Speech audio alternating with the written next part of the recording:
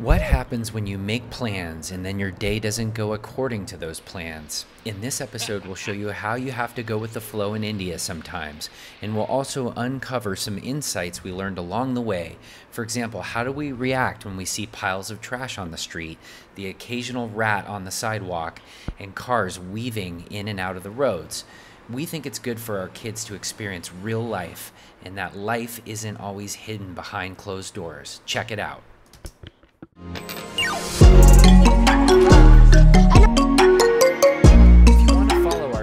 Journey in India, please subscribe and turn on notifications.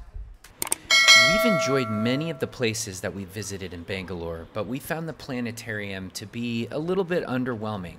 The exhibits were in need of maintenance, and it only captured our attention for about 30 minutes or so before we wanted to move on.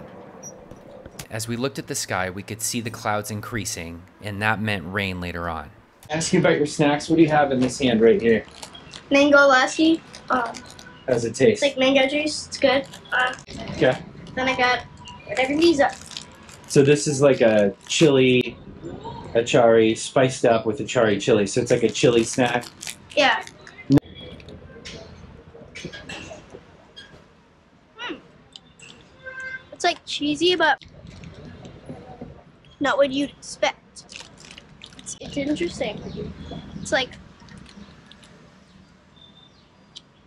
they pulled the chili taste out of a chili, and then they put it in chips and like a little bit of cheese. It's really good. Is it garlicky? Yeah, it's a little garlicky. You should try it.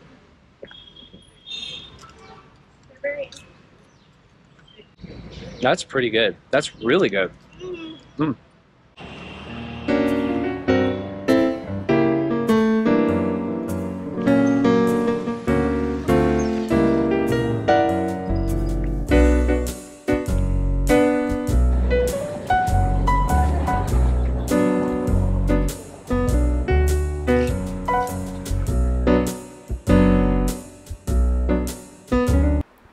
There are lots of mice and rats in the United States. One of the differences about Indian culture is that things aren't hidden as much. What exists in the United States behind closed doors is out in the public a lot more in India. So, for example, you'll see piles of trash in India. You'll see the occasional mouse bandicoot, which is a larger rat, or just a rat.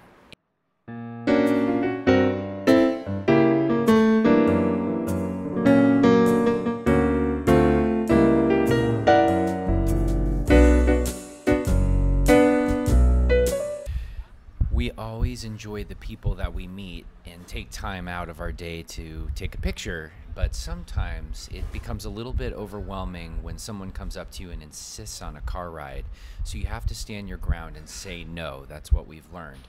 However, sometimes it's difficult when they're that persistent. The day continued to not go as expected. going for a run here. And uh, it is dumping.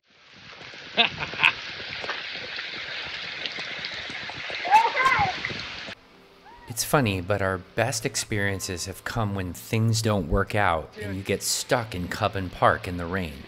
It's so beautiful out right now. I am soaked. I feel like I just jumped in the ocean. Uh, what a storm. Even though the day didn't meet our expectations, we ended up having fun because we just went with the flow and we ended up on a crazy ride.